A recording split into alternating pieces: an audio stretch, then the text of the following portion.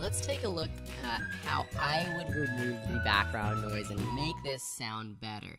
Now, I will say this was a very tough clip because we had that bad noise from the background from the freeway that really is all frequencies. It's high frequencies, low frequencies, mid frequencies. And what that means is that the same frequencies as my voice are happening in the background and creating this background noise. And if I remove those, I remove my voice as well. So it's a bit tricky, but let me show you what I did. First, let me just sh show you what it sounds like after. Hey, this is Phil in my backyard and before.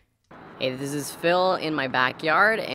I used the EQ tool and that's all I needed to make this sound better. And one word of advice is to use headphones while you're editing. So let me just play through this. I'm gonna delete this EQ and start from scratch. And in this practice lesson, so one tip is to find a spot where you just see the background noise. So let's go here. I got this clip on my timeline. I can see right here I'm not talking. So I'm actually going to put an in point here, and then go right before I start talking and put an out point.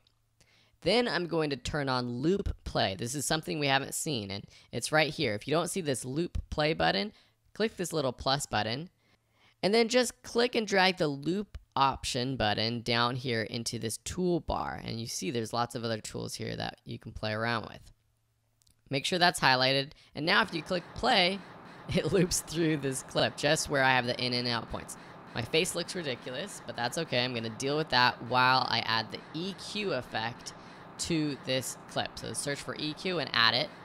Then click under custom setup, edit. Okay, I'm to block my face because that is just annoying. So what we want to do is actually use the EQ tool to figure out where the noise is coming from.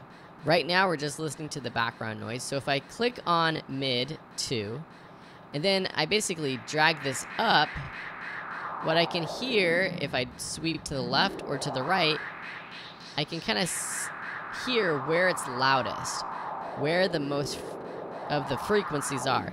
Down here on the left, there's not that many. Over here on the right, there's not that many either, but as I get in this range, 1,000 to 2,000, 3,000, that seems to be the hot spot of where the big noise is. And so by knowing that, I can then just take this point and drop it down all the way. And that sounds a lot better. It's cutting out a lot of that background noise. Then if I uncheck loop play and play through this of this video. I can just smooth this out by extending the curve like so so that it doesn't sound as robotic. Shotgun microphone plugged into my Canon 7. I can turn this on and off to hear what it sounds like by checking the toggle me. on and off uh, button here. Uh, probably about a mile away, there's a freeway, but I can hear. So one thing we want to do is use this output slider to increase the output. Hear it, and you can probably hear. So we don't lose any of the actual volume.